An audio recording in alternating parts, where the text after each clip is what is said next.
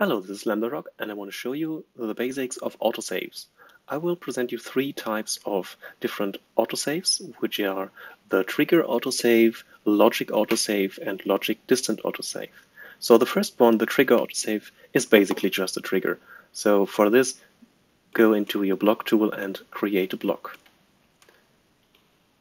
Press enter, now mark it, press Ctrl T to turn it into a trigger, mark it again and go into its properties um, with Alt Enter and change its class to trigger autosave. So this is already your finished autosave that you can place somewhere in your map and when the player um, touches it, an autosave is created. This works um, in a way that it is a trigger once, so once the, the autosave is generated, this trigger is removed from the map. The other two are basically entities. So there is, the first one is called logic autosave. So I will just go to the entity tool and press, well, just search for autosave and you find logic autosave. Um, place it, place it somewhere. I will go to the tool here where I can put it a bit up so you can see it. So it is logic autosave. Um, give it a name. For example, um, autosave logic or select logic autosave. And you can also define a minimum amount of hit points that the player has. Um, so if you say the health should be at least at 33 um, to survive the next fight, um, then this save will only um, take effect when when the player has at least this amount of hit points.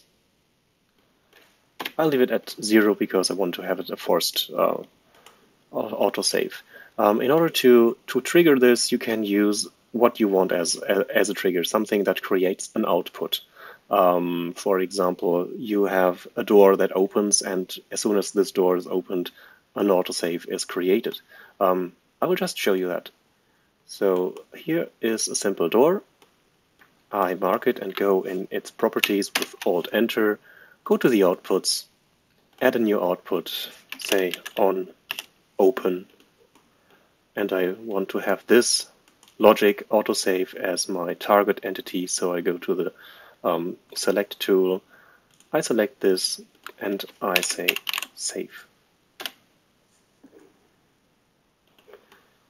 So this basically saves the game as soon as I open this door, or as soon as this door is opened.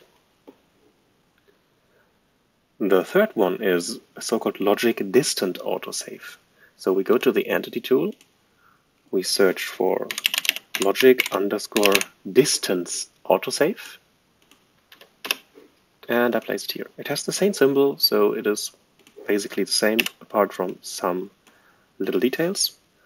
I go into its properties, pressing Alt Enter. I give it a name, distance autosave, and now I can configure a distance.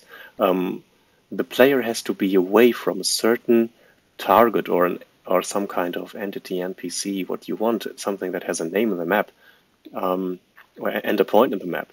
Um, so the distance, as soon as this, this distance is is um, achieved, the um, save takes takes effect. So when does does this make sense? Well, you could have a bomb that that explodes, and um, if a player is at safe distance, um, you can you can um, give him a safe, um, really uh, safe autosave. But I think this is more or less very good for a thing when you have this blind zombie everybody loves. So go to the entity tool, go to NPC zombie blind, and you know it is Jeff. Go into Jeff's properties by pressing Alt Enter and give Jeff his name. like him Jeff.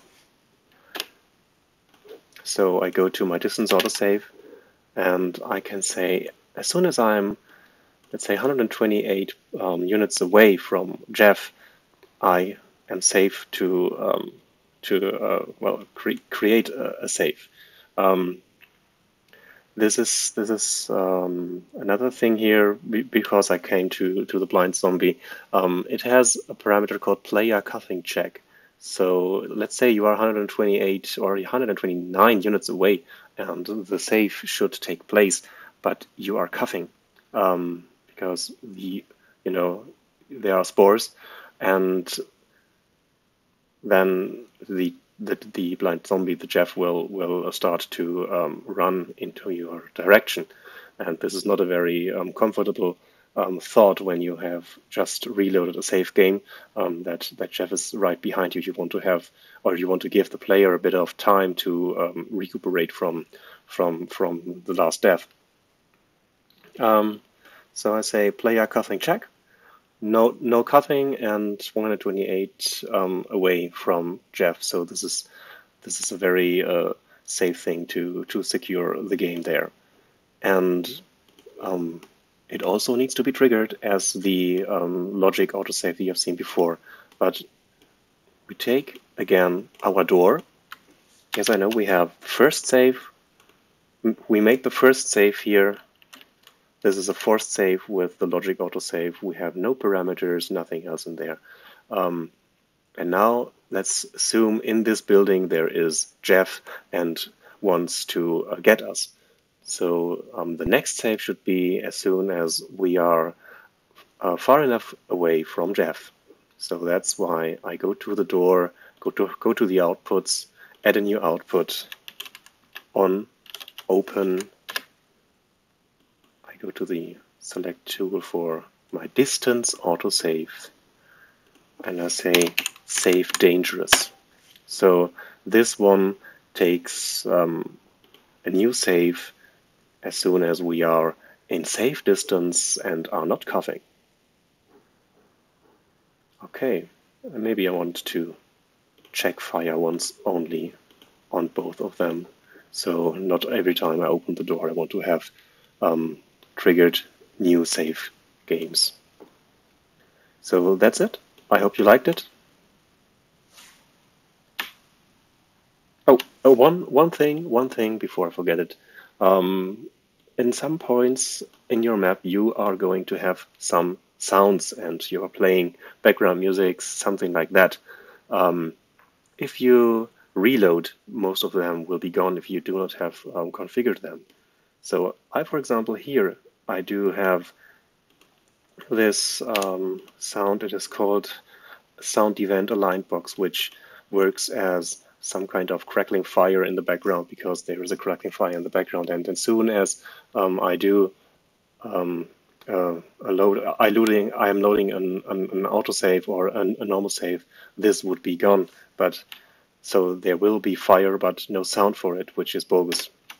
So I go into the properties of the sound and I check save restore. So this indicates that the sound will restart um, after the reload of the map.